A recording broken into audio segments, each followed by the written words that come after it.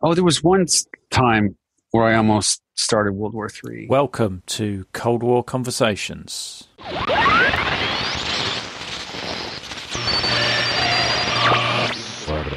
This is the British Broadcasting Corporation.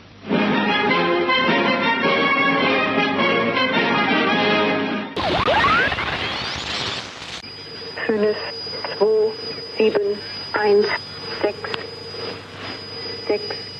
sieben, acht, acht, drei. Well, who's our first letter from today, Edward?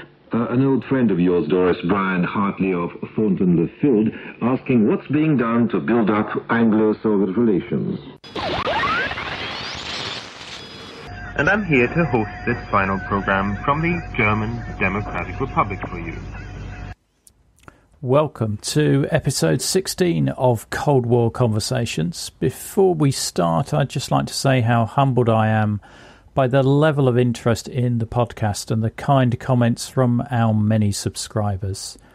The podcast will always remain free, but if you'd like to support us further with a small monthly contribution, then head over to patreon.com slash coldwarpod, where if you sign up, you'll also get access to some exclusive extras. There's also links on the homepage of the website, coldwarconversations.com. Just look for the Patreon logo. Back to the business in hand. Today we're talking to Mark Valley, host of the Livedrop Espionage podcast. Mark served with the US Army as a combat engineer in West Germany and later with the Berlin Brigade. His story gives you an eyewitness account of service in both locations, but also some insight into the training, tactics, and dilemmas of service in the Army. I'm delighted and honoured to welcome Mark Valley. Hi, Mark. How are you today? Hi, Ian. I'm I'm wonderful. Thank you. So, um, you joined the um, U.S. Army. Why, why did you join the U.S. Army? I love the way you say that.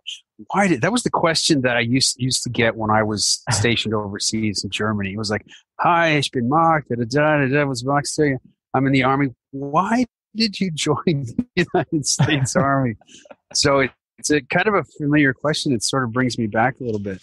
Um, I joined because, uh, well, I grew up in the 60s. I was watching Vietnam on TV. I from a small, kind of conservative town. I didn't really have a military family, but my grandfather was in World War II, like a lot of people my age.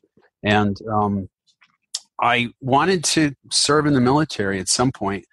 And uh, I thought, well, I started getting good grades in high school, and I thought, well, why not just go for it and just try to get into West Point and then see what happens. So that's a free education as well. It's um well not free, you have to serve five years active duty afterwards. But um yeah, I like the place. I like the idea of you know, not paying for your education Yeah. and uh really getting a good schooling. Yeah. Were you not fearful of being sent somewhere where you might get shot at? You know, um I was sort of fearful of it. Yeah. I, I, I but at that time it was it was the Cold War, which everybody felt there were only certain places where the Cold War was going on. It was, you know, these little, you know, conventional outbreaks in places like Vietnam, you know, or Afghanistan, or or there was, you know, Berlin or or something like that. So I didn't really have, really fear that. Everybody kind of had this feeling after 1974 that, oh, okay, Vietnam's over with. We don't have to do that for a while. Yeah. And Yeah. when I went in 10 years later, there wasn't really a big, you know, fear of going directly into or threat of going directly into combat. But yeah, that always sort of loomed. Yeah. Yeah. Because with the British Army, it was slightly different in so much that you could get posted to Northern Ireland. Or, Yeah, uh, and yeah. 1982, obviously, we had our uh, little disagreement with the Argentinians as well. Oh, yeah.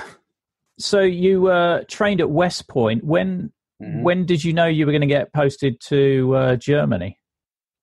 Uh, probably around halfway through my senior year, we we chose our our branch first, and I wanted to go aviation, but my eyes weren't good enough. So then I wanted to definitely wanted to go to Germany and go to and get stationed in Europe. And I realized, well, engineers, you know, based on my ranking in the class, that would probably give me my best shot of getting of getting there. So um, yeah, so that's pretty much how it worked Okay. out. What what year was that you arrived in uh, West Germany? So it's West Germany in this early 1988. Right. Okay. Okay. And as part of your um, sort of acclimatization, were you taken to the border to actually see what that was like? No, my first assignment was with the 8th ID, kind of along the Rhine River, um, you know, just kind of south of the Ruhr Valley near Frankfurt. So I was stationed with the unit there. Um, it was an engineer unit that was kind of out in this out in the middle of nowhere, called, a place called Dexheim, and I actually had to get didn't even have housing, so I had to get a get an apartment myself, and um, I got an apartment in this little wine village named named Oppenheim. I was the only American in town, so that was my first experience, and I was there for about a year and a half before I got an early reassignment to Berlin. Right. Why they must be worse places than wine villages to be uh, Oh, I still in. remember the smell of that. Yeah. yeah. It's got kind of a musty smell. Like behind my apartment, there were all these garages where people were literally just stomping in barrels of wine, you know? Wow. So I remember that kind of musty smell. Wow. I mean, it's kind of like making sausage, you know? You kind of want the end product. You don't really want to see what's going on. yeah, yeah, yeah, yeah. You don't want to see the manufacturing process at all. Yeah, but it was beautiful. I mean, his, I got a, I started to get a little bit of a appreciation for the history of the area. That's where George Patton crossed the Rhine, right near the village of. Oh, okay. They built the Is that that Bridge. that famous photo where he's uh, how can I, I, I relieving himself into the Rhine? I um, you know, I, I started doing some mili- some reenact military reenacting with um, like the War of War of eighteen twelve in my hometown in upstate New York, and you know their fights against the British. But somebody said, "When's the first time you ever did any military reenacting?" And I think now that I think of it, that would probably that has to be the first time I ever did a military reenactment was at that spot in the Rhine River. Yeah. Fantastic, fantastic. Well, we won't be sharing any photos of that. I don't think. On, No, no, yeah, I- on the show notes. It wasn't that impressive anyway. It's, it's, it's General Patton. um, and what what was the mission of the um, the eighth? the eighth ID. It was it was strange getting there in 1988. We didn't really, nobody really knew that the Cold War was going to end in a year or two years, but it it had more or less become the status quo that and accepted that well, you know, if you know things do come to push and shove, the job of the eighth ID and the rest of most of the army in that area was to kind of stop this expected Soviet offensive through the Fulda Gap. Yeah. So um, we had a spot. Um, God, I have to look it up on a map, but we we had a spot where we were going to go. We'd have alerts and we'd load the, you know, mechanized, you know, load all the tracks and the trucks up onto um, up onto a up onto a train and. You know, they would plan on uh, the the plan was to take this train, everything on this train was to an area further east, and then set up a defense. So I knew the village that I was going to, in the area that I was going to have to defend. I actually knew my mission better when I was stationed in West Germany than when I got to when I got to Berlin.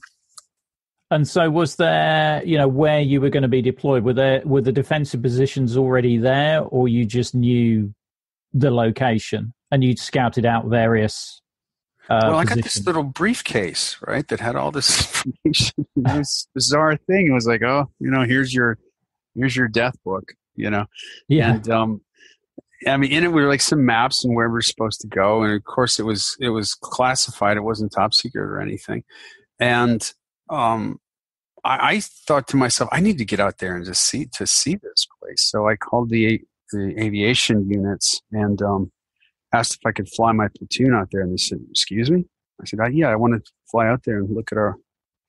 I, nobody had really done that, so they apparently didn't really have anything extra to do, so they sent a few, couple helicopters over, and I took my platoon to um, the East German border, where we were going to, you know, defend against the the Russian attack. Yeah. And, uh, we just kind of scoped it out. I mean, there weren't any defensive positions. It was really just this quiet, bucolic little village. You know, Yeah. kind of traipsed around and asked questions and ate MREs and um, you know looked at the terrain and it was all really surreal. It was kind of like kind of like going on a vacation and saying, okay, when the art, you know, when this um, post-apocalyptic part of the movie happens, Yeah. what are we what are we going to do here? You know.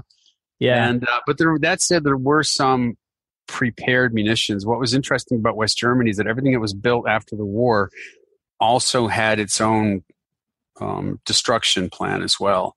So most roads, highways, bridges, overpasses, they all, I forget the German word for it, but they all had this one little um, little door or a little like manhole with a with lock and you had to talk to the the burgermeister or the chief engineer of whatever village you were in and they had the key. So that was like a little coordination that engineers had to do was to be able to talk to the Germans to say, ah, Mr. Burgermeister, uh, we'd like to blow up your bridge today. Can we, um, you know, can we? So the, can we, these were pre-built demolition chambers that had been built into all these structures. Precisely. Yeah.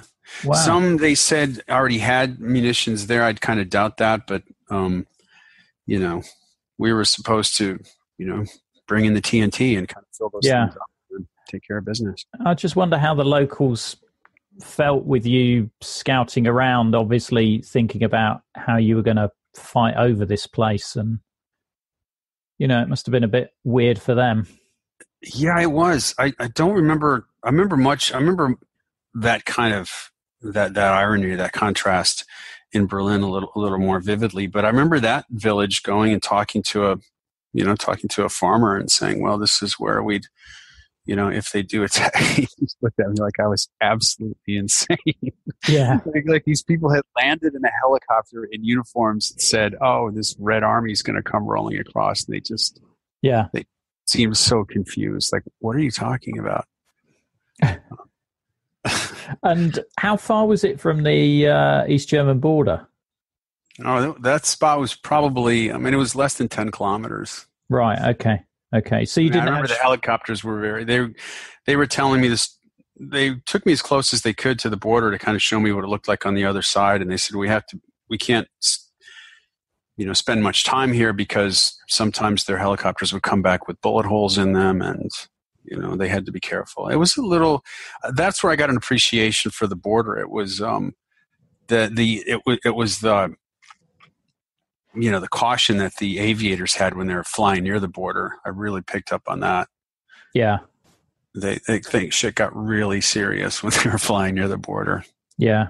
Yeah. Well, I guess they didn't want any navigation error, which meant they'd accidentally uh, gone over. Yeah, and they had been shot at. You know, so you never know. Yeah. Yeah. Wow. So you're there in 1988. When do you get posted to Berlin? Um, so I was there in 1988. One of the jobs I had, I was going to mention, was I, I, they put me in charge of this unit that um, was just going to conduct this 100 mile march in Nijmegen, Holland, and that was the first time. They took teams from all over uh, Europe and NATO, and one of the teams that we marched against for the first time was a Russian team that was sent there. So I got to meet some some Russians for the first time, and um, yeah, they didn't speak any English. Some spoke some French and some spoke some German, so I could communicate with them. But I, I remember their officer; their he didn't want anything to do with me. And after about a, I think after like the second or third day of, I mean, it was marching 25 miles a day, and then we'd all eat together. Yeah. Um, you know, some of the other soldiers said, "Look, uh, we can't talk to you anymore." I said, "Why?" It's like our political officer said, "Just, just stay away from you." And these guys, this is like one kid whispering to me. I'm like, "Really? What, what's going on?" Because they think you're the CIA.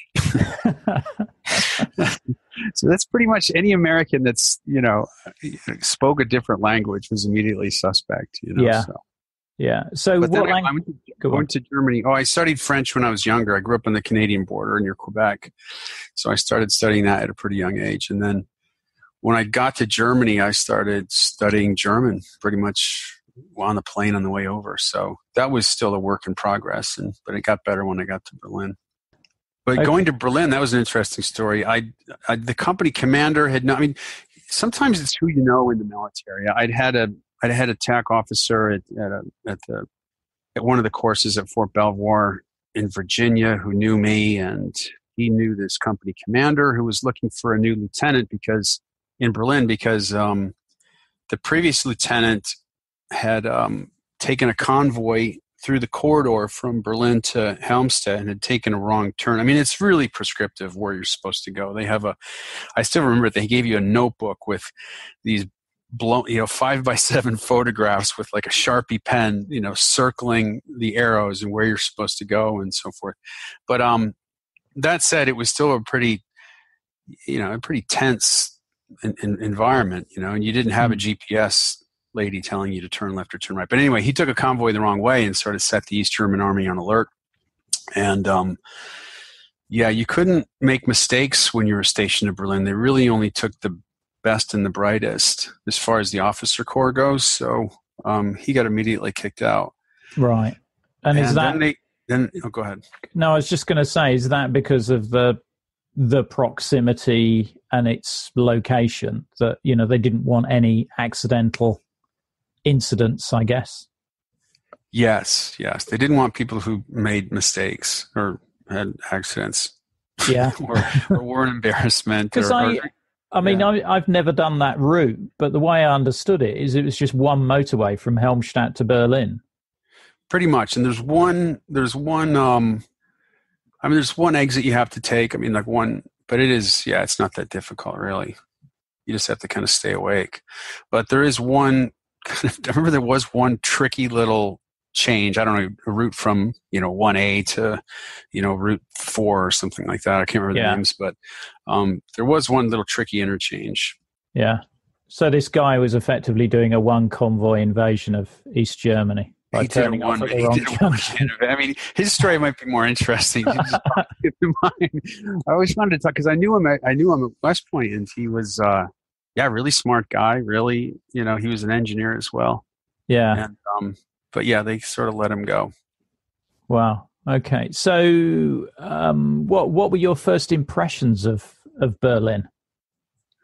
Um, yeah, it was it was amazing. I've heard you talk on your show that you know it's surprising. People say, "Oh, Berlin," you, you just picture this dark city with people wearing trench coats and you know, you know, you think everything's black and white like a le Carré novel. But I, what what really threw me when I first got there was just the the the trees. I mean, these huge leafy deciduous trees everywhere, and, and the the parks. Um, and you know the streets were wide, but they weren't they weren't like Hitler wide. They were just you know busy. This was a this was a big thriving thriving city. That was the kind of the first things that brought me. The second thing that kind of threw me, um, well, I have to go back a little bit because when I when I was assigned to go to Berlin, I I bought this um like BMW, old used BMW for like twenty five hundred dollars or something, and uh, I literally packed everything that I that I owned in this car, and I had a set of flag orders, and I drove from,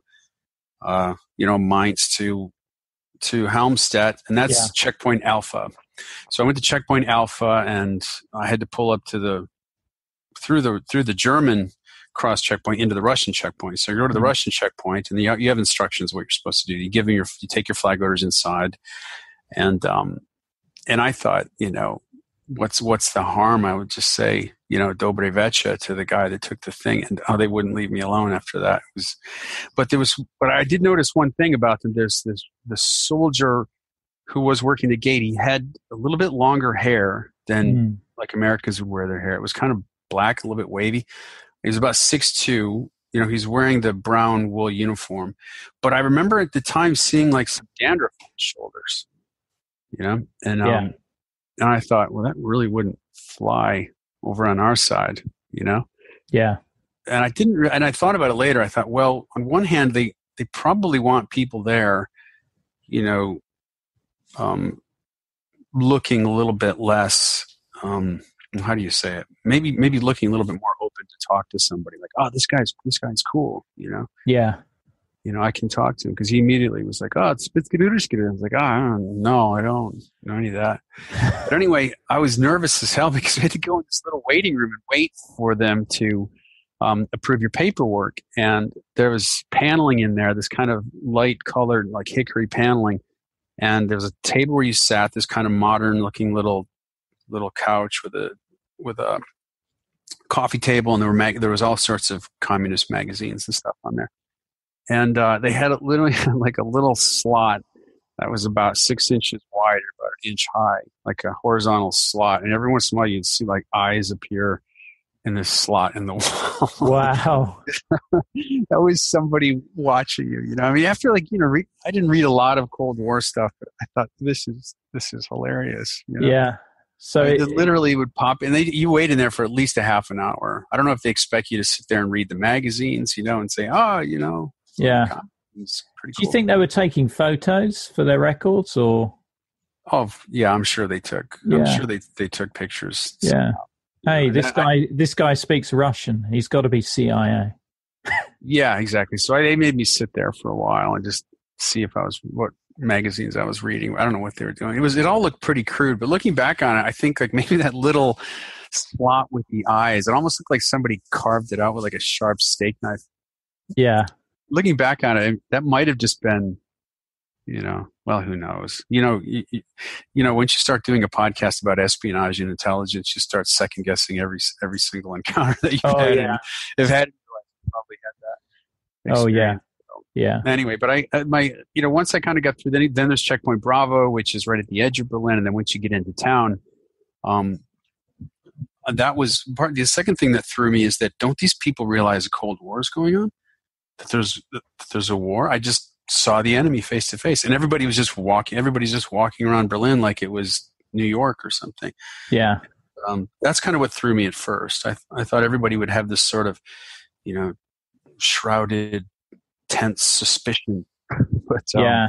no, it was it was springtime. Everybody was having a great time. It was a beautiful place. Yeah. And it's a huge place, really. I mean, you know, you've got all those lakes and woods and parks. It's Oh, I know it. Yeah, it's not yeah. We because we were in the American sector, which was, I mean, it was some pretty choice real estate. You know, we had a place on Hoot. I had a little place near Hüttenweg, and I could just go to Schlachtensee or Krumme Lanke, and you know, then a little farther over to like the the Havel, and it was beautiful. So did did you have any uh, special training for Berlin?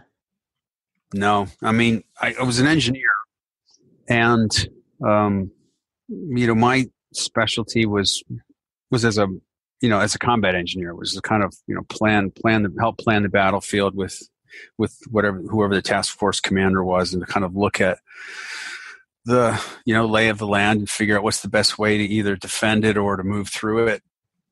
Um, I sort of like that thinking part of of being an engineer that you weren't Mhm. just this kind of warrior beast. You know, you you had to you had to kind of either prep the battlefield or analyze it and look at things. So no, I didn't really have any any special training. Once you got to Berlin, everybody went through. I think it was like a week long in processing, and there were classes that you had to take at at McNair Barracks. Right. I remember those. And what what did those consist of? Can you remember? Um, yeah, it's funny. I interviewed this this one guy, this ambassador Perrin, and he gave me this term. I thought it was I thought it was wonderful. And uh, he said, you know, they because you know they would bring me back to Berlin because I well I, I knew Berlinery, so they would you know ask me. I was like, wait, what? Berlinery. I was like, "Wha- what's that? He goes, it's everything related to. He was getting patients like everything related to Berlin. They had all kinds of different rules everywhere. Anyway, anyway, we just called it Berlinery. But I thought that was kind of That's well, I really mean, cool. that was your first introduction to Berlinery, where it was where they basically tell you, okay, here's the way we did things. You do things in, um, you know, West Germany. Here's the way we do things in Berlin. They were very, they were really, they were telling us that not only are you, um, you know, you have to use discretion and, you know, be aware of, you know, that people are trying to get information from you, but you also have to project an image, a positive image and strong image of America because because people are watching you. So it wasn't just like don't give information. It was sort Yeah. of act like you're a great guy. Yeah. So, it, so even in you your down, even in your downtime, you have to act as an ambassador for the US. Yeah, yeah. You know, I think things had started to it, it changed a little bit in Berlin. Not not that much. I mean, they didn't have the one big. They didn't have the big. Um, you know, like May Day parade. It wasn't on May Day. I think it was on the Fourth of July at McNair, where they would kind of you know roll the trucks by and the tanks and everything. Yeah. But um, I did find in my, you know, when I once I did get to my unit, I had some, uh, I forget, I think they're called CVs. I forget them, but they were like M60 tanks with you know high explosive guns on the front. And I remember looking through the kit, and there was this big container of baby oil. I remember asking the the section, I was like, what, what is this doing? It's like in like rags and stuff. He goes, "Oh yeah, sir." He goes, "You're lucky." It's like, "What? What's going?" on? Because yeah, we used to have, we used to have to rub everything down with that with that stuff. Is that right? And then if you if you look back at those parades, you realize, wow, why does everything look so kind of a little bit? It, it looks like it has like an eggshell, whereas Yeah. in West Germany, the rest of the army always had a like a real matte finish. You know, so that's where the eggshell came from. Yeah, I thought they just polished them. It's baby oil. That was the big Wow, that's the big baby secret. color. That's the big secret. That's, That's probably the one that- classified information you've just released onto the podcast. Uh, yeah, I mean, you could pretty much shut down your podcast now. I mean, baby oil won the Cold War, so let's let's. well, on. hey, that's going to be the headline. That you've just given me the title of the podcast. That's definitely going to be it. what beat the Russians? It wasn't Ronald Reagan. It Yeah. wasn't. It wasn't. It wasn't- You know, a policy of containment. No, it was baby oil. Yeah, it Johnson wasn't. Johnson. Yeah, it wasn't tear down this wall. It's crack open the baby oil. Yeah, exactly. So- Brilliant. Did you do any training in uh, Doughboy City? oh, absolutely. Yeah. and what was that place like? Doughboy City was, um, you know, later I, I, I went and did a, um, one of the first movies I did was about Operation Gold. I was still a soldier in Berlin, and they said, "Oh, do you, we- we're looking for soldiers for this movie." I think it was this was after the wall had come down, and it was about this. Well, you know, the Operation Gold, the tunnel that Yeah, they dug yeah. underneath. Yeah, And um, I started looking around for the actual location, and it still, I mean, at the time it still existed. There was still remnants of the foundation and the opening of the bunker, although it was filled in. But it wasn't far from Doughboy City, actually.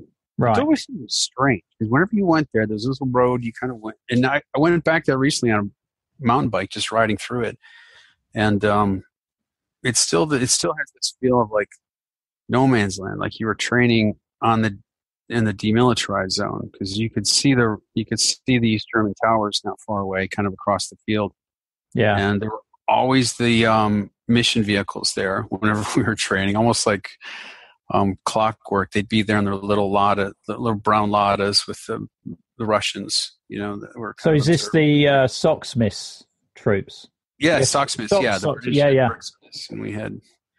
Yeah, exactly. They were there. You know, these guys Oh, packed in okay. a tiny car, and um, Uh, what was in Doughboy City? I mean, did there were there buildings and simulations of S Bahn stations and things like that, or have I got that mixed up with the British training ground?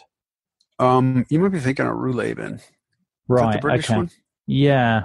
I I remember Ruhleben just being a little more congested. That had a that had more of a feel of, you know, a really kind of um, buildings were a little bit closer together. I don't think it was quite as big as the one we had. But um, Doughboy City, it was a collection of uh, at least a dozen cinder block buildings that had, you know, up to like two to possibly three stories, maybe at some point yeah.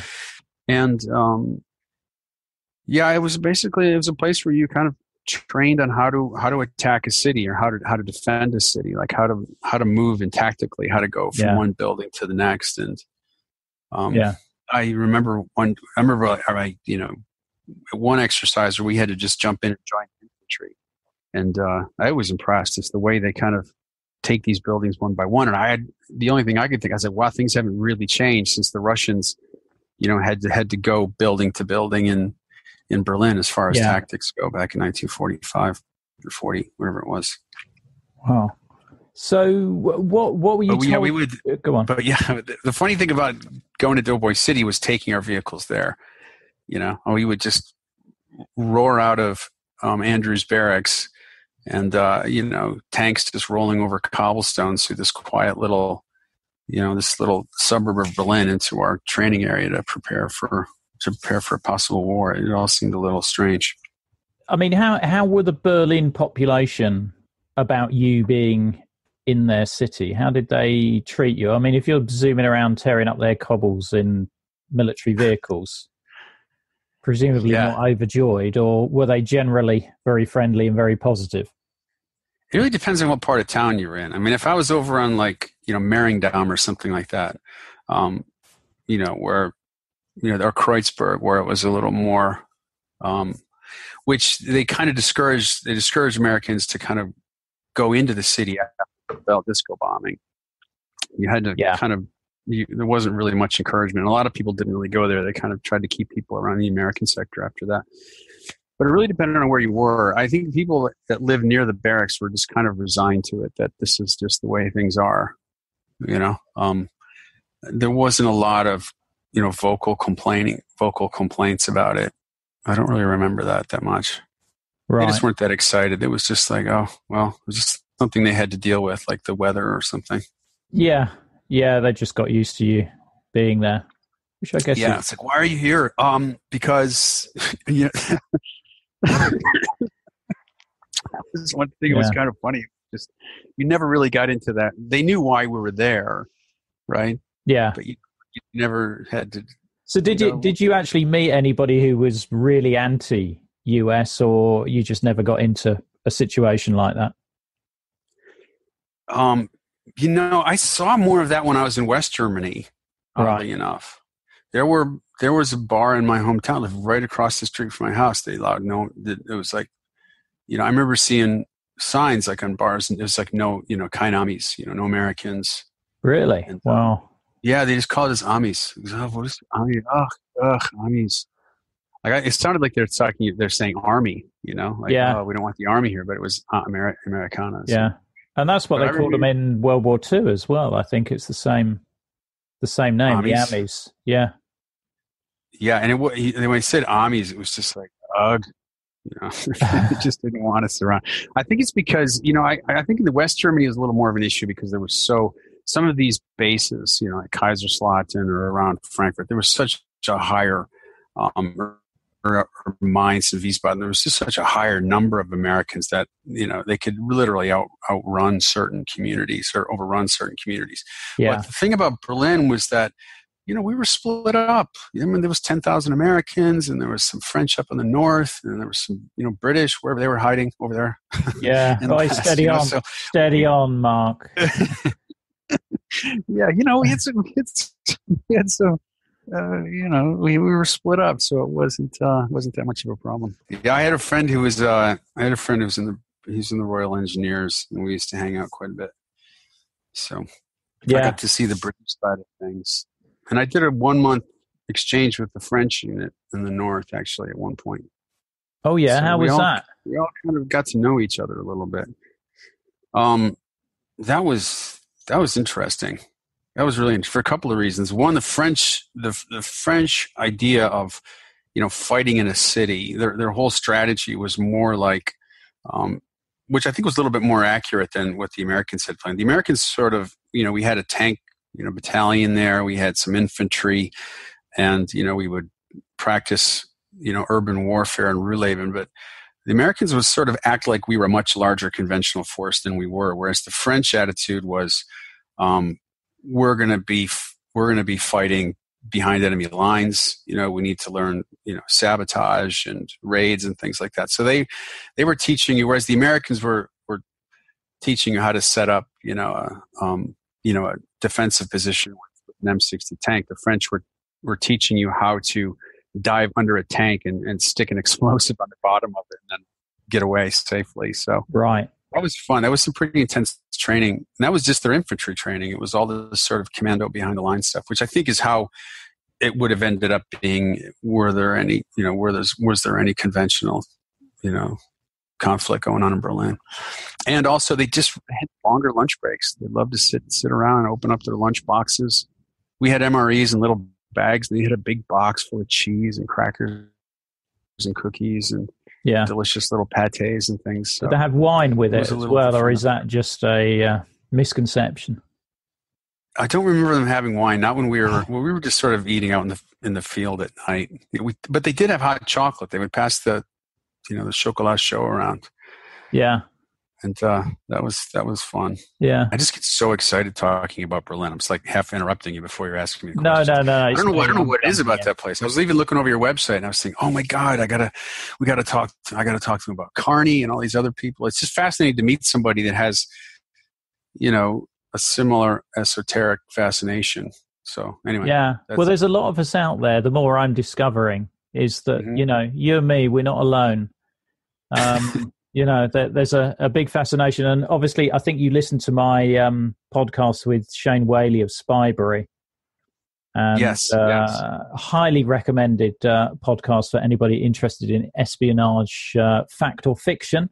Um, but he's got an equal um, fascination, and obviously with the Cold War Conversations Facebook page, I'm just getting you know loads of people joining that week in week out who um, have a similar interest. So uh, yeah, let's keep that? going. Why is, what is that now? Why are people interested in it um, now? I I I don't know. I mean, I I think it's the bizarreness of having a city, well, particularly with Berlin, having a city divided in two on the basis of ideology. You know, you could sort of understand a border in open countryside or along a river or something like that, but to have a city split in two um, with one side killing their population if they try and get to the other side is a very dramatic and unreal image, which I think just retains people's fascination. Yeah.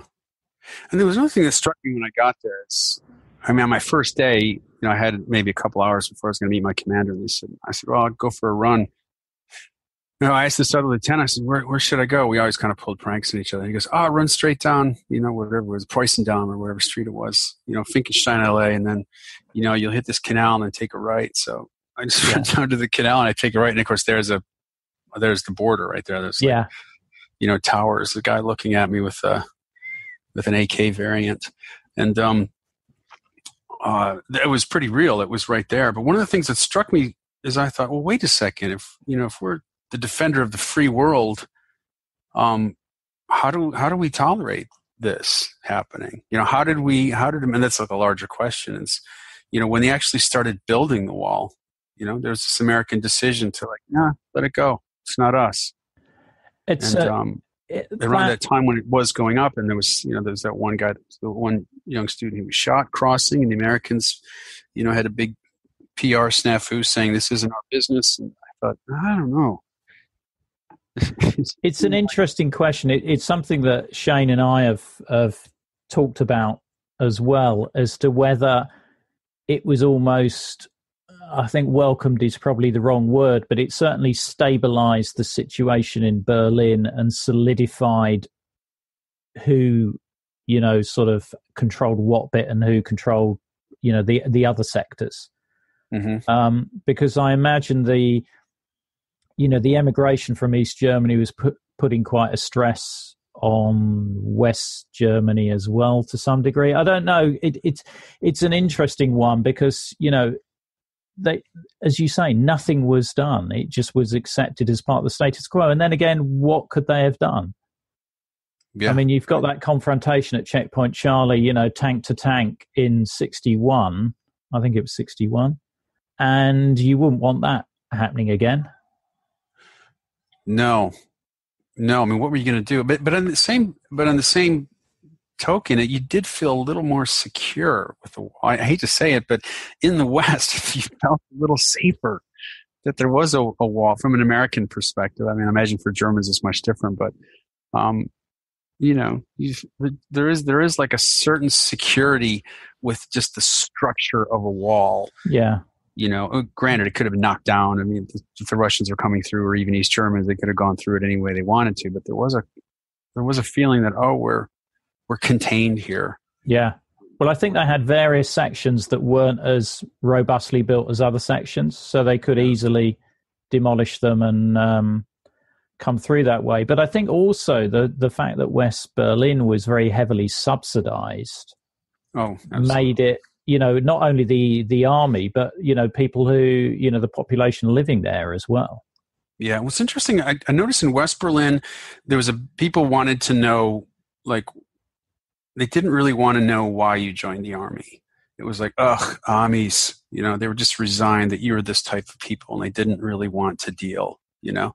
Yeah. Um, I think it had something to do with the with the liberal attraction to Berlin at the time. I mean, a lot of people went there because they could avoid the draft as well. But I remember people did want to know why did you, as a person, join the army. It wasn't automatically accepted that you were this or you, or you were that. I, I do remember people being curious on a personal level.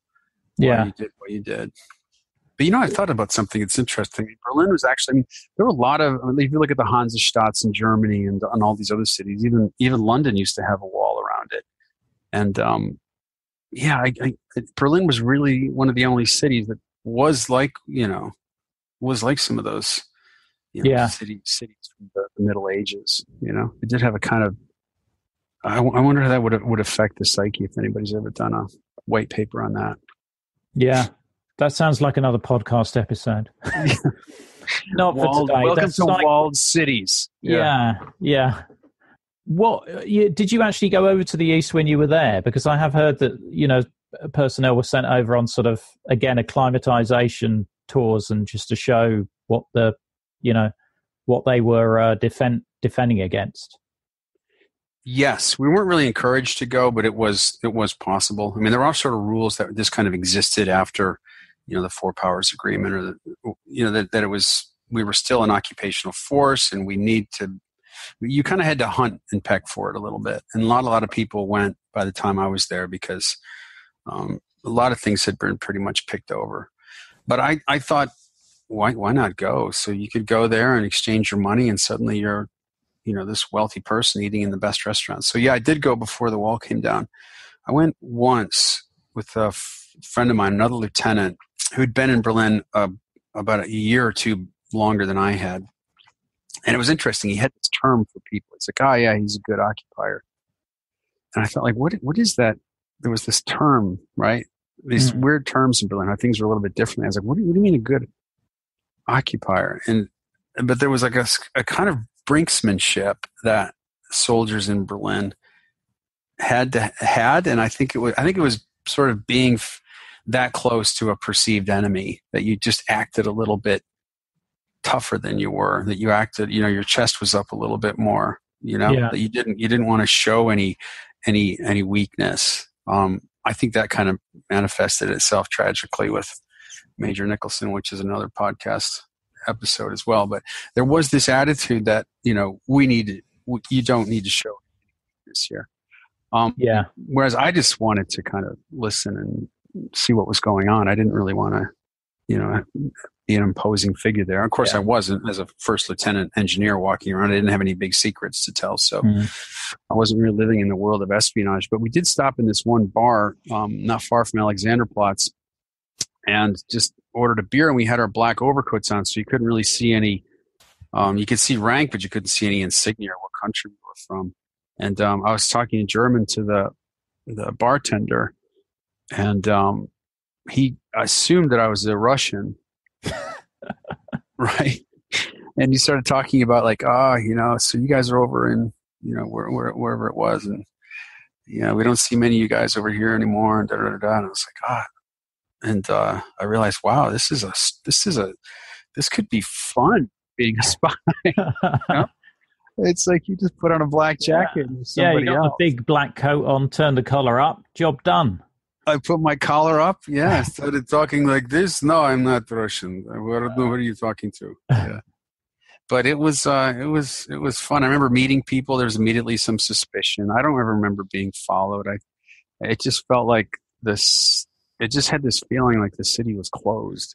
Yeah, Just weren't weren't people walking around. You went there, I think, as well, right? Yeah, yeah, yeah, yeah. I went in '89 in May and um, just found it bizarre. I mean, it is a bit like the Alice through the Looking Glass. It, Mhm. It's crossing over in. It, it's like you cross those few yards through Checkpoint Charlie or Friedrichstrasse, and it's like you've gone back 30, 40 years. Yeah, You know, it, yeah. there's less traffic. The buildings look like World War II's just finished, you know, riddled with bullet holes and plaster hanging off. Mhm. Um, and the, the the thing that I remember, and it's in quite a lot of the um, the books or accounts you read, is that it just smelt different. oh with, yeah. You know, the two-stroke engines of the uh, of the of the cars, and they're burning that lignite coal as well. And Um, their cigarettes that just smelled like they're burning paper. They're horrible. what, what is Yeah. in that? Like brown paper or something? I remember, No. I, cause I, went- I've been back, and then uh, once the wall came down, I was just fascinated with the place. So I was driving, you know, even before they said the Americans could really go over there, I was, they would just let me drive through. So it was no problem. So I was just, it was like, imagine this, it was like a alternate universe had opened up. Like half the, the city was, the city was immediately twice as big. Hmm. And there was a whole other side I hadn't seen before. So I remember driving over there and trying to spend as much time as I could looking at this place that I mean a lot of people say when you oh we, they they would suggest Americans go to West Germany to see why we're here or, or I'm sorry to East Berlin to see why we're here to appreciate the American way of life and democracy and that whole party line but um I remember going over there and just feeling bad for these people you Mm. know thinking oh somebody has just nailed their toe to the ground and um yeah. you know, and then after discovering the Wende, it wasn't until I really discovered the Wende Museum here, and that's someone else you might want to interview is Justin Jampol, really fascinating guy who started this museum, the Wende Museum in the Cold War. Yeah, no, it's on my list. If you can give me an intro, I'd be Oh, very to, appreciative. love to. Yeah, yeah, he, he's a very interesting guy. It wasn't until I went into his warehouse in Culver City in Los Angeles where I where I was just struck with it. It was, I mean, he has this huge warehouse. It's full of furniture, um, you know, clothing, books, statuary, flags, photographs, you know, all kinds of paraphernalia of of that. Almost what's a, what now you could, is almost like a lost civilization Yeah, it was like it was like I didn't really get to see what was inside these buildings or inside or what life was like in East Germany or for all these people until I got to Los Angeles and went into that museum. So that was fascinating. Yeah. it sounds like an amazing collection that, and so surprising to find it in Los Angeles. Yeah. Well, you know what the funny thing is about coll- there's another thing about collections. When somebody knows you're collecting things, when they see it, they think of you, and and then it's they let you know about. It. I mean, he just has he still has stuff coming in. He just people are always saying, "Hey, do you want to do you want this? Do you want to do you want a Trabant? you know, whatever it is." Yeah. So, I did an impersonation of Dean Reed. Have you ever heard of him?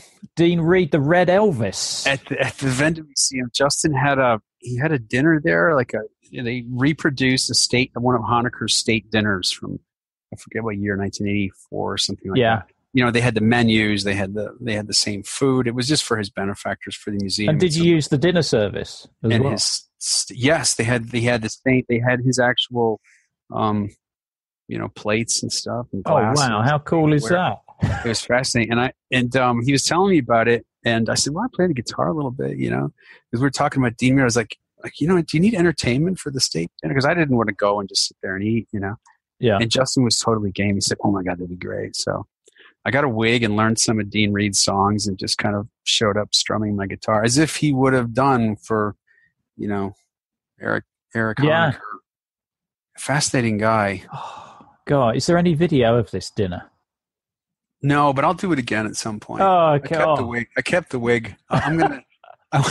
maybe maybe they'll invite me to like. I think they celebrate Dean Reed's birthday in Berlin every year, so I'm trying to get an invitation to that next year to go play like Eve of Destruction in German or something.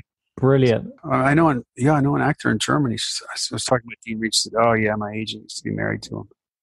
it was just not a big thing, you know. You, you mentioned about the defense of Berlin. I mean, what do, do you know what the battle plans were for the for the defense of Berlin, or any detail around that? Yeah, that's something I've been kind of digging into as well. And there's this, you know, there was th- that was something they talked about at um um like at like USAREUR, U.S. Army Europe level and NATO. It was like what you know what is what is their overall plan here? And my what what I've come up with is that they intentionally um didn't have a plan. I, and, and like, I'm kind of winging it here, but my, my theory was this: was that I, I think that you know if there was a plan, then there suddenly would be this excitement of trying to find it, and who would give it up, and who would, you know, who would see it. I think the, the overall mission there was um, we were like human shields in a way. You know that if you do want to engage Berlin, we're going to fight. Then you would be fighting American forces in your war with the United States. So that was pretty much the main purpose. I think there was a it was a show, not necessarily of force, but just of you know residents.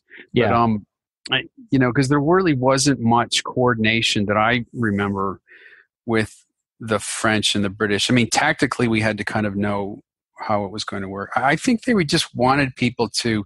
I think they were we were going to kind of wing it. I mean, with the exception of units like, you know, Detachment A, which is declassified now. I mean, they had you know they had like a stay behind mission, Mhm. um, you know, of sabotage and so forth.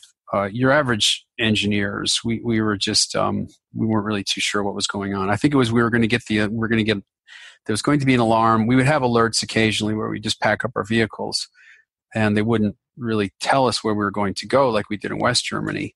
Yeah. Um, I did get a hold of the battalion's plan at one point and found out that the battalion headquarters was going to be in Fehrbelliner Platz. Right. and I had a girlfriend that like lived near Fehrbelliner Platz, so you know, casually I mentioned to her like, "Hey, could I use your apartment if we go to war?" And she's like, "Oh, absolutely." So, um, you know, I had a plan. I had a plan personally where, where Yeah. I was going to go. So you didn't really know. So even though you were doing training and things like that, you didn't know where you'd actually be deployed if the uh, the the wall came down and the Red Army came pouring over. No, but to be honest with you, I think that they wanted to keep us mobile as well because a lot, a lot of our training was going on at um, uh, Bergen training area, which was right where the Bergen-Belsen concentration camp was. Hmm. That was a strange experience. You come up with some bizarre discoveries there once in a while, but we would train there, uh, more or less in the British kind of sector of West Germany. So, um, yeah, we would train. We would train there, and you know, then come back into the city. Dou- Doughboy City was pretty much the, the the infantry was using that most of the time. We would help them like in support, you know. But it was Yeah. it was all sort of strange. We didn't really know what the, but we did know that we were surrounded by, you know, a hundred thousand Russian Russian Yeah. troops. You know, so it was it was kind of futile in some respect. Yeah. You know, we trained in the city. If they just said, "Oh, you know, go down Kurfürstendamm and block the street," then you know we would have we would have done it. So Yeah, and you, you briefly mentioned that you you had a friend in the Royal Engineers. I mean, did you have much contact with the British? Oh yeah, yeah, um, yeah. We did. I mean, I stayed. At, he was he was an officer. I stayed at their officers' club. Oh my god, you guys drank and drank all the different. I could. There were so many different types of alcohol. I couldn't keep track of it. And then the port came out, and then you know they're wearing these red uniforms. I felt like Toasting the Queen as well, I'm sure. so the Queen thing. Oh my god, it was hilarious. We, we had a yeah. There's the Queen and the Royal this and the Royal that, and uh, a lot of pomp and circumstance. And the uniforms were just beautiful. This like whatever that red color is that you guys you guys have, yeah, you know. Um, um, anyway, there's those red uniforms. Then there's this weird thing they did, like on this kind of wrestling with your legs. You know, you just kind of fight with like your legs on your, you know, people sitting on top of you. Anyway, it was it was just bizarre. But um, the British were like they were really the king of this whole brinksmanship. I, I, I have to say the idea of like a good occupier, and I'm kind of going out on a limb here, was something I think it was it was a British, it was a, a British invention because they had a little bit of a different attitude. I mean, you guys had that whole, you know, air raid with the Nazis. You were much more, much more invested. And I think, you know, there was Dunkirk. I mean, you look back on it, you think, oh my God, there was a much different war.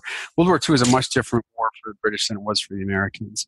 And you could see that just by the different attitudes um, toward the Germans and, you know, toward being an occupational force.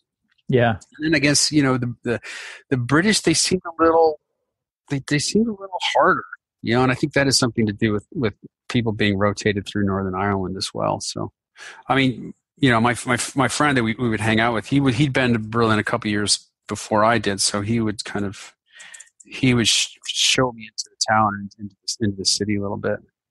I mean, it was I was just I, I was just kind of impressed with the way um, like British sort of wield the English language a little differently than Americans. Americans kind of, sure, we speak English, you know, eh, but the British have it like, uh, it's almost like they're proud of their language as well.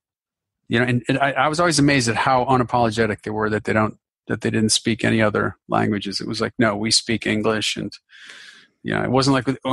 I mean, there are exceptions, but I just remember some some of the officers there that was like, "Oh, you don't understand? Well, then I just need to speak English louder, you know, And slower. Yeah.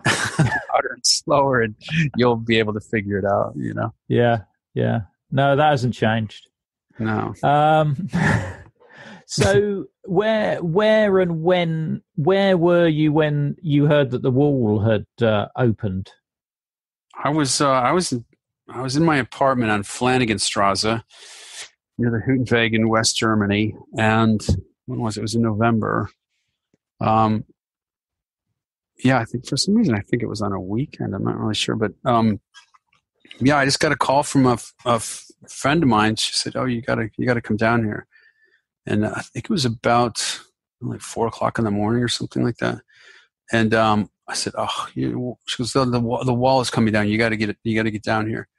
And um, I couldn't really believe it. I mean, I turned on the radio station. They didn't have anything on it on a on the um, American radio. I didn't have a Yeah. TV either, so I couldn't really watch it. So I just got in my old BMW and just drove down to um, drove down the gate just as the kind of sun was coming up. And uh, yeah, there were just people standing on the, on the like literally standing on the wall. I mean, you've seen the pictures, people chiseling Yeah. away. I started chiseling away, then I realized, okay, this is going to be a lot of work. Well, that bit round the Brandenburg Gate is probably the toughest bit to uh, chisel on. It was certainly the thickest part of the wall, anyway. you start chiseling on that, and you think, okay, um, I'm going to wait for the professionals to come in. Especially as an engineer, you're like, okay, this is like you know 40 years of settled concrete. You Yeah, is- bring out the baby oil. That'll sort it out. I was going to explain to everyone. Listen, here's what happens when you reinforced concrete sits in the same place, weighing on itself for 40 years. You know, don't even try to break it up. But yeah, the baby oil wasn't working. But I was, yeah, I would. I look at those pictures and I think, oh my god, that was. I was there. I was standing in a, you know, wearing a brown bomber jacket, as long as my hair possibly could be, wearing stonewashed jeans. You know, standing Yeah. there. And I remember that on the inside of the Brandenburg Gate were the soldiers um, the East German guards, but they weren't armed. They were just standing in a semicircle about 20 feet from the edge. Yeah. And I remember taking a picture of that, just looking at us curiously, like what? They didn't appear, they didn't look afraid. They just didn't see what was going on. I mean, I walked around a little bit. I walked up a little bit toward the, um, toward the Reichstag, and there was actually a hole in, in the wall. A part of it was broken down, and I looked through it, and people were just using the regular regular way through, but somebody had cut like a little hole big enough to get through. And on the other side was uh Russian was a, a border guard. And um yeah, I offered him a cigarette. He said sure. So I passed you know, I passed him Yeah. a Marlboro through a hole in the wall and we smoked a cigarette and just shot the shit for a little while as people were kind of streaming through. Wow. What I mean, what what did you? i I'm fascinated to know what you talked about. What the weather was like, or Yeah, it's like, how's it going? He's like, oh, Yeah. good. I was like, what, what, what's going on? He's like, oh, they opened it. And um, I said, what do you, you know, I, I don't remember the specific, but I just remember him being not really sure that it was going to, it was going to last, you know, Yeah. and he didn't, he didn't seem like he was one of these, um, you know, sort of militant guard people, you know, guards along, along the wall. He just seemed to be kind of watching it. I just remember both of us were just caught up in events as if we were both watching, you know, this huge sort of, I don't want to wax poetic or something, but it, it just seemed as if we were watching some, you know, like either a huge wave or some kind of force of nature happening, something way beyond our control. yeah. Um, And did he did he know you were American? yeah, yeah. It's like Right. Americana, and he's like, oh. He was a little suspicious, I think, but I, I think you know, cigarette kind of broke the Yeah. ice a little bit. Yeah. Well, if you'd had your black coat on with the collar turned up, he probably would have been more suspicious. he basically told me everything. He told me all the secrets of Yeah. from East Germans, and uh, yeah, he's still working for me now. It's- Yeah, yeah, yeah. Yeah. I look forward to him on a future episode of your podcast. yeah. The guy, the guy at the gate. But I I would love to talk to one of those guards actually, and just have a, a a chat with them. You know, what was it like, and what was that day like? You know, that must have been just so bizarre because you know, hours before you've been told shoot to kill, and then you're just told don't do anything, let people go. it's open. Let Yeah. him go. Yeah, Did you see that film, Born oh, Born Bornholmer Oh, that is great. That's great.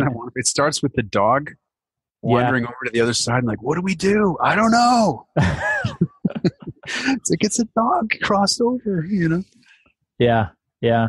But you actually watch the um, TV film of what actually happened on the night, and it's exactly the same. These guards are just bemused by, you know, they've got no orders. They're under this huge pressure of these people, mm-hmm. and you know they've got no option but to open fire or open the gates. You know. Yeah, I mean the guy that wanted to put the machine gun up there, you know. Yeah. Yeah, it, it was like a real collision of of. I mean, it was a strange event. I mean, looking back yeah. on it now, we're so lucky there wasn't like one shot, you know, yeah. or just something happened. And suddenly it would have been, oh, we're, sh-, you know. Yeah. Well, I think the most bizarre is that whole press conference where Schabowski sort of just doesn't really know what he said. And then they ask him, well, well when does this happen? And it's like, immediately so forth. He, he, looks down at the paper, right? He yeah. looks down at the memo and he's like, oh, yeah. You know, immediately. Yeah. Yeah. Yeah. It's right just, now. it's almost like it happened by accident. I know it was yeah. planned, you know, they were planning on opening the border, but you had to get a visa and, you know, there was going to be some sort of red tape there. But that whole, you know, 9th of November evening was complete, you know, screw up. What what was the initial feeling within your unit about the wall opening? Did there, was there a feeling that well that's over, we can go home, or was it sort of oh this is a bit of uncertainty? I wonder what's going to go on here. Well, we didn't really know what the Russians were going to do, so that was a little so it was a little tense because you know there was 1953 and there was Czechoslovakia and there was Hungary. I mean, there was all those different yeah. times when the Russians had just kind of said, "Oh yeah, go ahead, have a good time." You know, and then and then the hammer would come down. So um, the Americans were we were kind of locked down. We couldn't leave the city, couldn't go near the wall. Um, we just had. I just remember it being a little bit. It was hopeful, like as a human, you're like, oh, this is great, but yeah, you know, as far as your duty goes, they said, all right, stick tight, guys, keep your head in the game. We might have to do something. We don't we don't really know, but I, I it definitely was. I definitely had the feeling that whatever was going to happen that we weren't going to be engaging. yeah.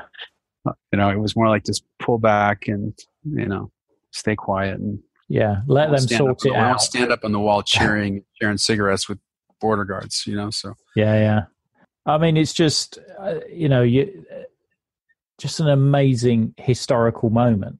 I mean, it's a bit, it's almost like, uh, you know, you think of like moments in you know the Russian Revolution, like the storming of the Winter Palace and thing, things like that. You know, being in Berlin when the wall opened is one of those moments. Oh, it was just amazing. Yeah. So I did I did chisel away off a little while, but you you felt like I mean I felt like I had to keep going back to to process it to make sense of it, and I think other Berliners did as well. I mean, more and more after the first day and the second, third day, it just turned into like a you know, it was like Woodstock. There's just more and more people there coming in from West Germany to kind of see it. And it was like you're trying to pro people were, would, would go back and try to process it, you know, and then you just see these Germans kind of streaming through. And, but I, I do remember chiseling away and, and, and, um, you know, Dan Rather was there and, uh, I saw him walking around in a trench coat with some guards and, um, you know, I just, I just walked near, near, not far from me. He was like, Dan, you know. Yeah. and uh, his, you know, one of his guards turns around and puts like a hand to my chest. He's like, "No, no, you know, I'd like to talk with Dan, Mister Rather. I'm an American." And he's like, "Ah." So he goes, "Mister, Mister Rather," and he comes over. He said, "Yeah," and I just handed him a little piece of the wall. It's like I just wanted to hand, give this to you. Yeah. he's like, "Thank you, thank you very much." And put it in his trench coat and turned around and got in the cherry picker and continued his reporting. That's taking but, pride of place on his mantelpiece even now, you know. It could be right now, yeah. I got a feeling it ended up getting crushed into dust in the bottom of his Burberry oh. jacket, but you never know. Yeah, yeah, yeah, it was a fascinating time. It was this it was feeling like, oh wow, this is happening. Yeah. Is there anything else that you can think of that might be of interest about your time in Berlin? Um or have we covered everything? Oh, there was one time where I almost started World War Three. No, that sounds like an interesting story, Mark. Do carry you want to hear that one? want to hear that one? Yeah, well, I, I, I so. attacked the time I attacked East Germany by myself. Yeah, yeah, yeah. All right. No, I Um, don't I- think we've I- got time for Uh, that one now, Mark. wrap it up. Yeah, Yeah. There was the Gulf War that happened, all that. What was on. funny was what was funny is going to the Gulf War is I didn't you didn't realize it, but the the rest of the attitude toward Berlin was that, um, yeah, that it still had this kind of black market, this weird sort of black market, you know, dark forces Berlin. You know, even though I went to the Gulf War, Yeah, um, it was like, "What? You're stationed in Berlin? You must, you know, yeah. Behind them enemy lines. you must be a spy." I'm like, "Oh my god, no! Trust me, Yeah. I was eating hamburgers." Yeah. So, um, so tell me about the time so- you almost started okay. World War. Okay, we had to, like I said, we had to train in West Germany, and one of the, and the way I, I, my unit when I got to Berlin had- was just taking off to go train, so I had to stay in Berlin and do the uh, mandatory in processing I was telling you about, where they teach you all the Berlinery, right? Yeah, yeah. And um, you know, it was like the copious notes, wrote it all down. I mean, I then I had to go and I had like a like a few days on my own in the city where I just kind of wandered around, and then I had to get on the duty train to go to Helmstedt to meet meet my unit, and then you know go out there and meet my platoon and do whatever engineers do, blow blow things up and rebuild them. So I was uh, I had a I had my rucksack, my helmet. Um, I had a I had a weapon too that already issued me a weapon, and I was on the um, duty train, that- the newer one, not the old rickety one. Um, and uh, I was asleep in a little cabin. You know, I mean, you go through your you go through the where was the train station? I think it was like Finkenstein or Lichtenfeld. Lichtenfeld leaves out left at like Lichtenfeld station. So you get on the train and then you go and we they they come through the the transportation guys. They come through, knock on your door, and I was really sort of groggy. I was exhausted, and he said, um, like I said, I spent a couple of nights in Berlin getting to know the city a little bit. He knocked on the door and he said, he's like, you know, the next stop, next stop, um, we're here. And I think I only heard we're here, right? yeah. and walked on down the down the aisle and i said oh shit and i you know put my helmet on and grabbed my pack yeah. you know and i just walked down the hall and bumped out the door and, and it was sort of twilight you know in the morning and i hit the platform and i'm just walking along this platform kind of looking they said oh you know one of the there's going to be a sergeant Humvee waiting for you. So I'm looking for this Humvee and I'm thinking, well, maybe it's behind the buildings. And I look at the script and it's the kind of old German script. You know, it's German, you know, like Konditorei or something, you know, written Yeah. in that. You don't see The Gothic script. Yeah. Yeah, you don't see that script anymore in, in, in Berlin. Um, thought, that's a little, a little rusty. And then, you know, the buildings looked a little rough. And I, I remember kind of walking past one and kind of snooping around behind it, you know, to see if there's a truck waiting. And then, and then I just started to get this feeling, this kind of sick feeling in my stomach, you know, that it's like, oh, this is not where you're supposed to be. It just didn't look like West Germany. And I look farther down the platform, at the end of the platform, there's a guy with a long brown coat and like a little brown wooden and steel thing, you know, with Yeah. one of those like fuzzy hats. And he's Yeah. just kind of walking toward me at the quick time, you know, and I'm like, oh, yeah. And uh, I just kind of walked, just turned around and just walked quickly back to the train as I could. Just, Yeah. "Ah, don't get shot, don't get shot, don't get shot. And um, got into the train, you know, just as it was starting to, you know, kind of make make noises, and um, Yeah. because they had to stop at these.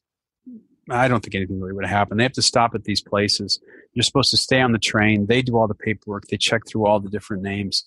But um, yeah, I remember this this Russian guard kind of walking after me, Yeah. get back on the train. So I got back on the train, my heart thumping away, and you know, the next stop I was with my unit. So that's was Wow.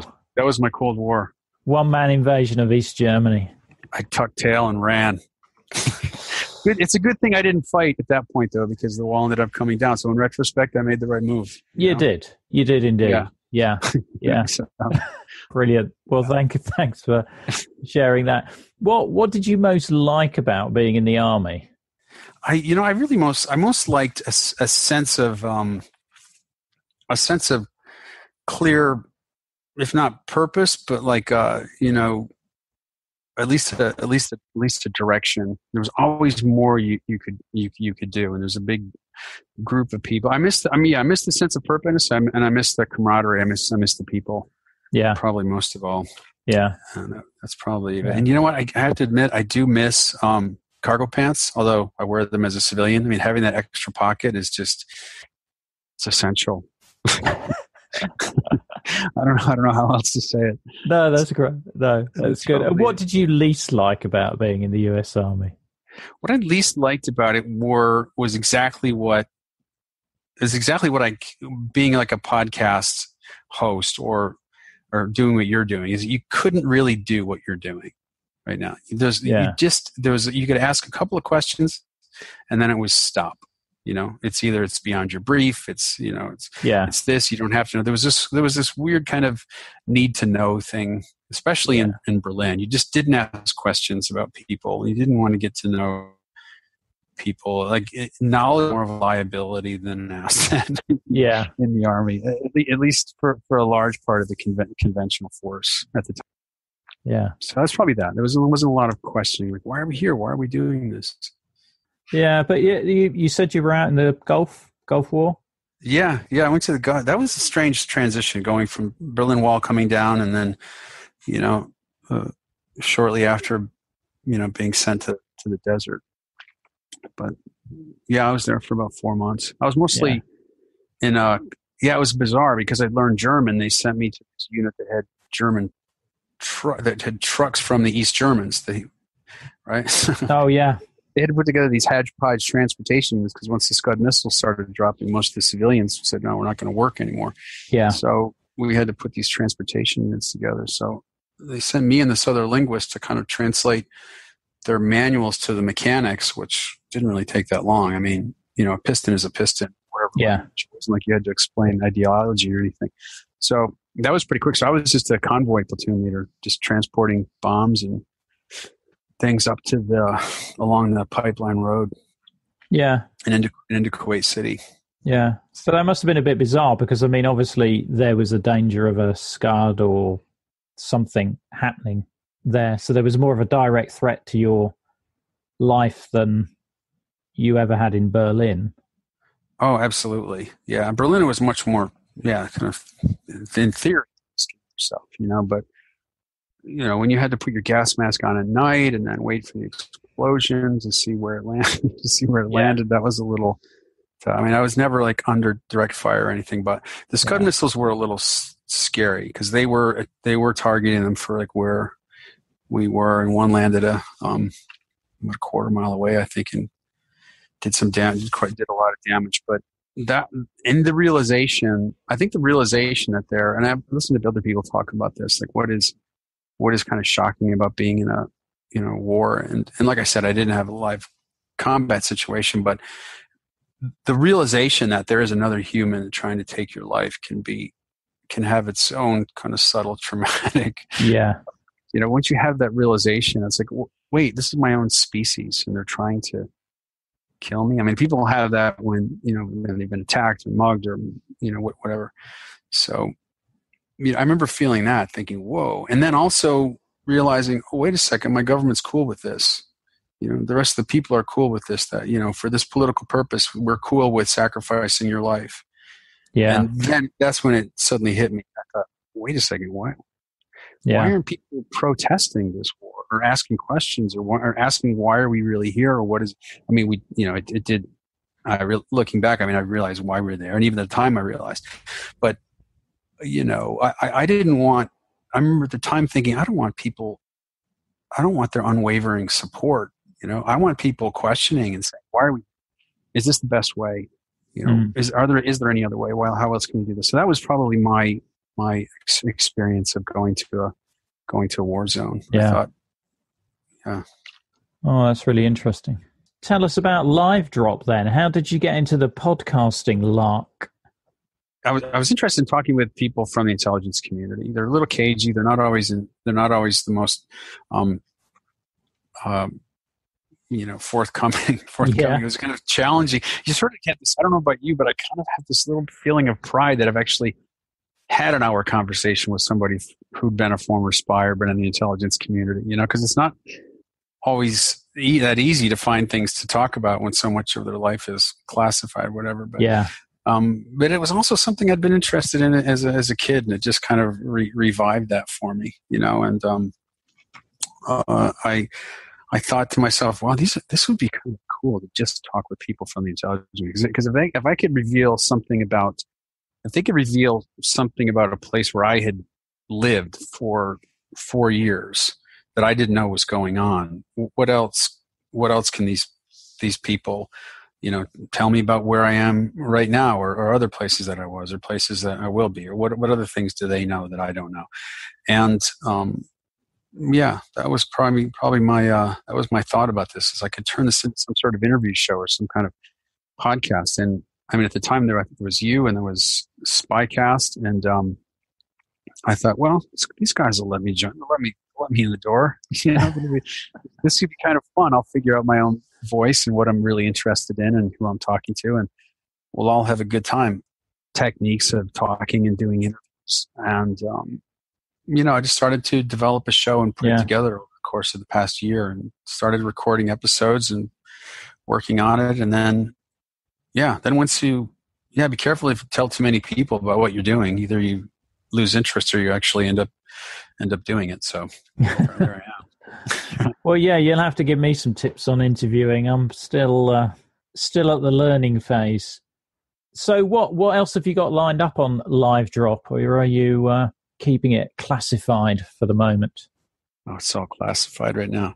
Um, well, I'm going to. I've spoken with John Kiriakou. He was the uh, former CIA officer who kind of blew the whistle on the torture program. And I had an interview with him wow. One with Dmitry Trenin. He was one of the first interviews I did uh, of the Carnegie Institute in Moscow. He's a former uh, mission member. A so, a, the USLM. Oh, yeah, SOX yeah. member. So um, I had a chance to talk with him briefly. And um, who else? You know, some some of my friends from Berlin. I try to keep going back to uh, Berlin as often as I can and interviewing people who were there when I was there. I mean, I had a good friend who worked at Teufelsberg and hadn't really told me about what what he did until now.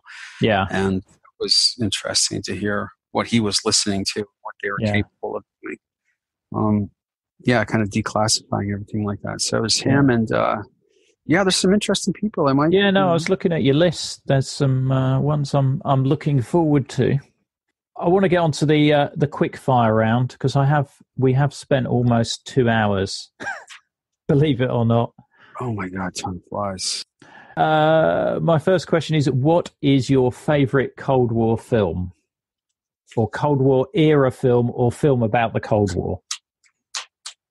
Um, I have to say my favorite one now is is a show counterpart on Starz right now because it it doesn't really get bogged down with you know who the, who the who the enemy was or exactly who the you know who the Russians were, who the Germans were, what, what, whoever was we were spying against. Um, it, it, just it treats it like it's an alternate universe, which I think was a little bit, which I think was the sort of that was like the kernel of interest that that kind of fascinated me about Berlin. It wasn't so much that it, what I knew; it was what I what I didn't know that really interested me, and that you know, trying to figure out that world is pretty cool.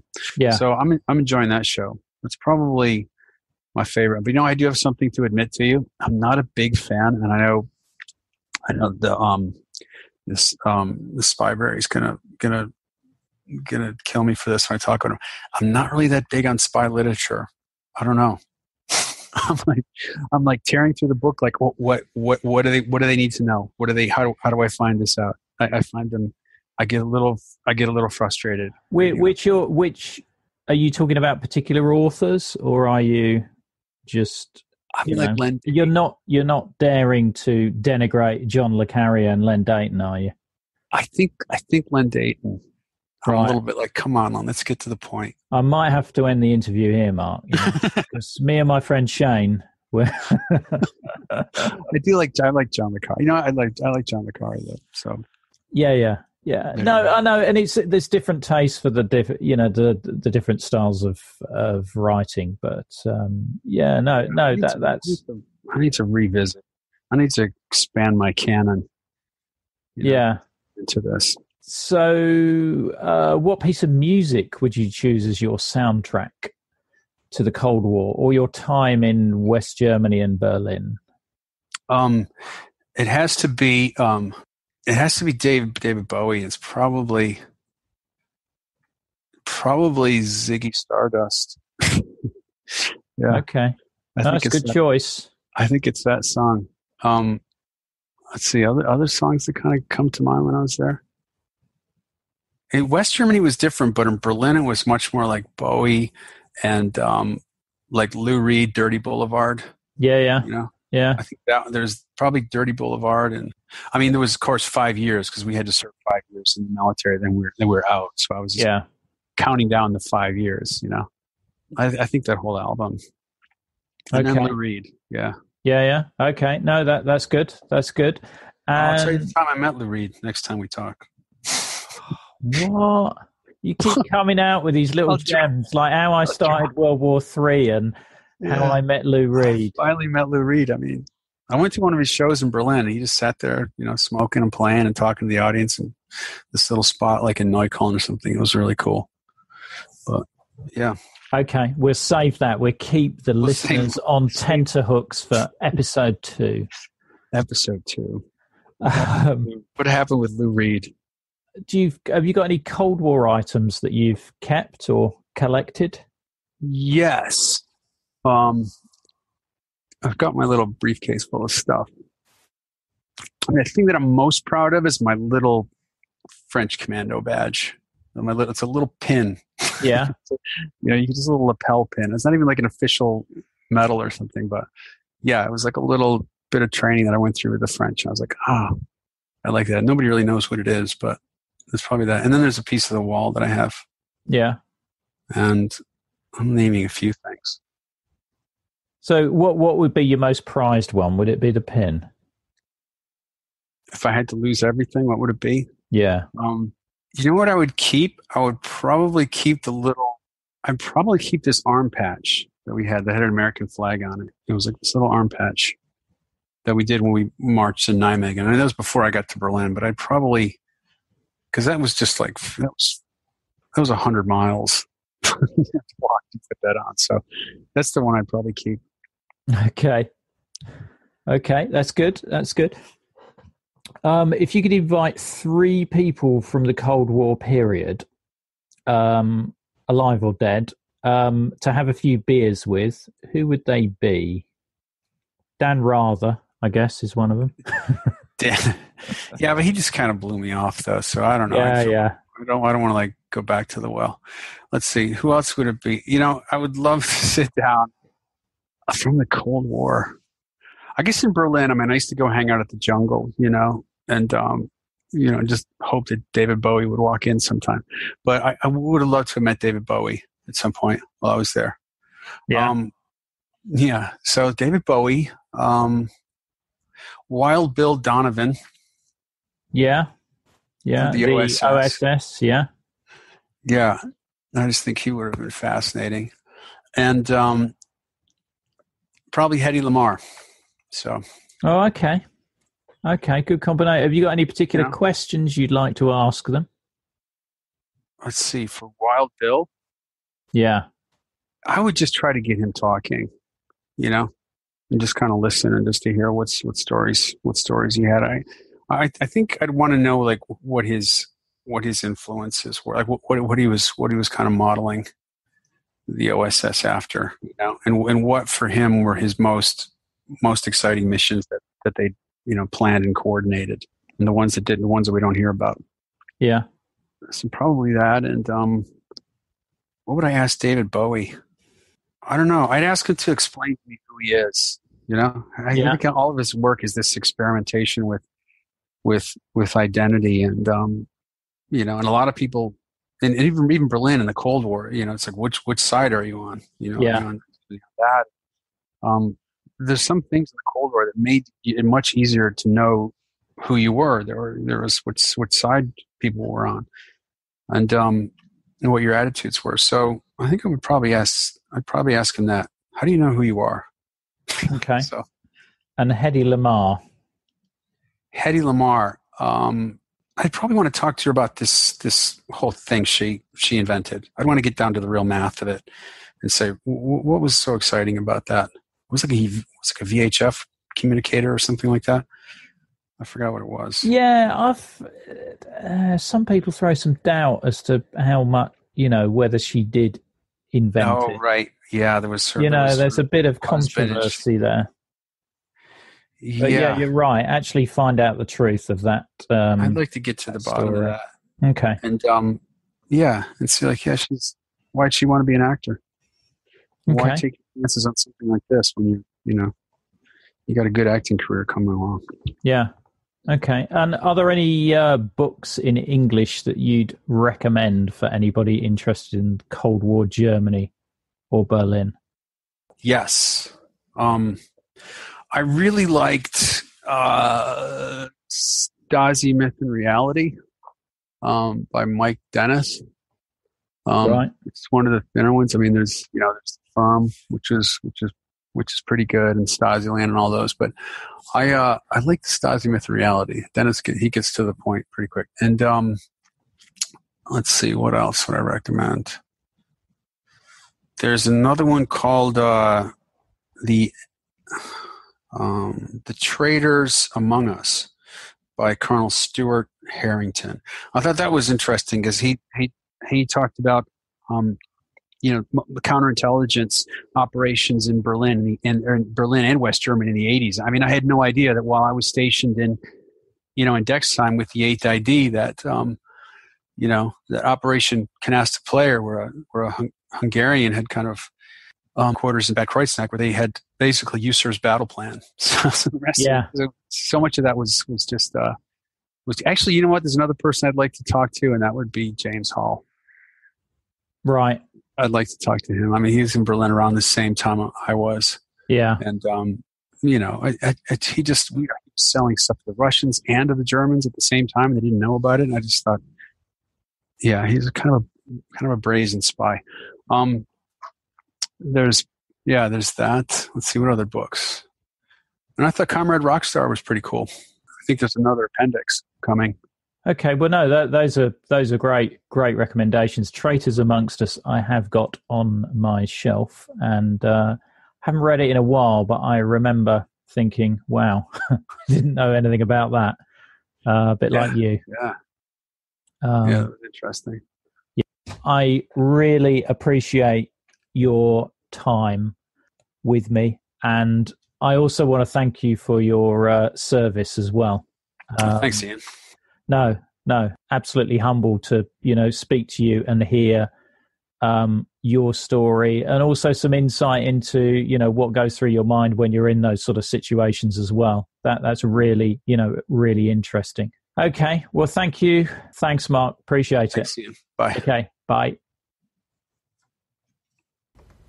Well, I talked with Mark for over two hours, and there is some extra material available on our Patreon page at patreon.com slash Cold War Pod. I was genuinely honoured to speak to Mark. Again, another eyewitness of uh, such important pieces of history.